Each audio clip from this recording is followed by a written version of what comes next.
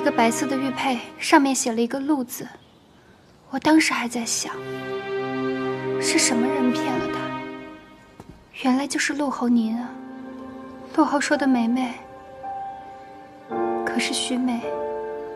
你不是梅梅，但你知道她。说，她在哪儿？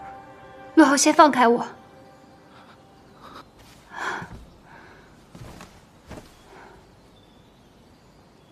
他死了。你说什么？是我亲手埋的。你埋的？你为何要埋他？她是从小陪我长到大的丫鬟，我们情同姐妹。有一日，她跟我说，她有了一个心仪的人，她愿意与他长相厮守，愿意等他，等多久都可以，愿意为他做任何事情。可是。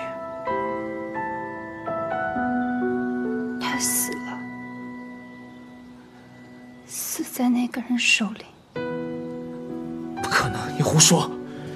当年我派人去查过，陆家别院的附近根本就没有罗府。你胡说！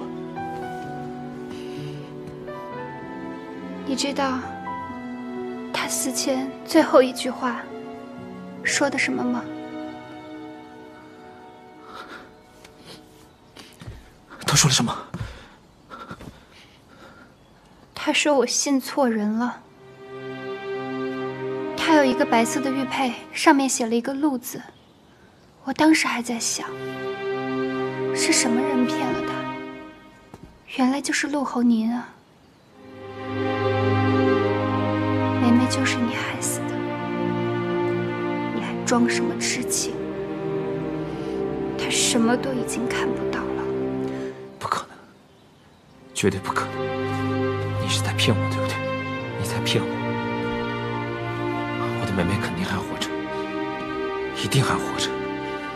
你说你埋了她，那你把她埋在哪儿了？